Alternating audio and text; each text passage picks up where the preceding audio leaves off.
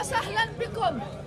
أهلا وسهلا بكم. شرفونا بدخولكم هذه البلدة يوم كنا نكون إلى جانبكم في كل الوقفات أنا والشيخ لاسترداد جثامين أبنائكم.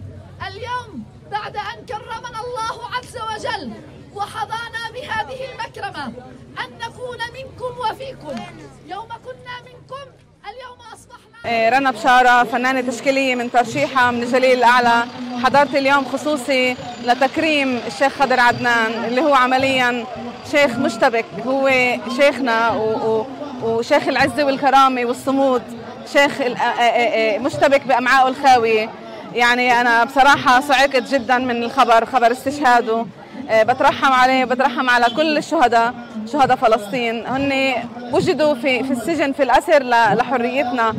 فأنا كثير حزينة كثير حزينة. وإحنا اليوم كمان عم نخوض معركة مع وليد دقة. وليد دقة أخبار كمان صعب كثير لأنه نقلوه كمان مرة للمستشفى. ألتقاء القائد الفلسطيني الأسير الحر خضر عدنان على أيدي الفاشية الصهيونية في معركة الإرادة والكرامة.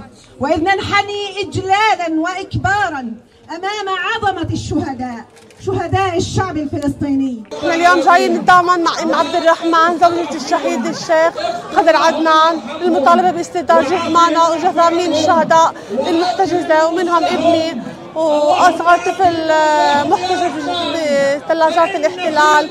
هو ويوسف صبح وبالإضافة ل 136 شهيد محتجزين نسأل الله العظيم رب العرش العظيم إنه يرحمه برحمته ويكرمهم بكرمه ويحمي اولاده يا قادر يا كريم ويفك أسر المأسورين. يا رب يا قادر يا كريم.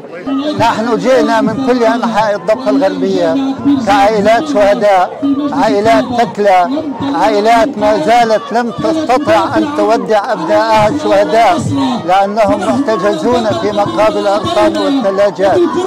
جئنا لنقول بأننا إذا كنا قد خذلنا الشيخ الشهيد خضر عدنان في حياته فإننا لن نخذله. والله لن نوفيك أيها الشيخ الشهيد الجليل الشيخ خضر عدنان لن نوفيك حقك ولن نعطيك كامل الواجب فهذا بعض الواجب.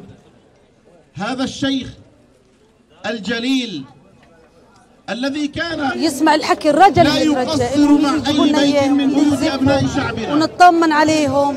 ونريح بالنا في شوفتهم لأنه والله ما إحنا مرتاحين. ولا أم شهيد أني بترتاح وابنها في الثلاجات. أني أني أم شهيد بترتاح وابنها في الثلاجات. مين؟ بتمنى الكل يسمعنا. آه هذا التجمع الحاشد الكبير الذي حصل أمام منزل آه الشيخ خضر عدنان وأمام بيت آه العزاء. هو دليل على التفاف الشعب الفلسطيني حول خيار الجهاد وحول خيار المقاومة والتفاف حول خيار قضية الشهداء والشهداء المحتجز جثامينهم في سجون الاحتلال. هنيئا لك يا خضر عدنان وأبشر فإن في الأمة من سيكون مثلك ولن تذهبك روحك هدرا سيكون نفسك الأخير. الذي لفظته وأنت تجود به نفسا تلو الآخر من أجل الانتصار لقضيتك. قضية فلسطين قضية الأسرى.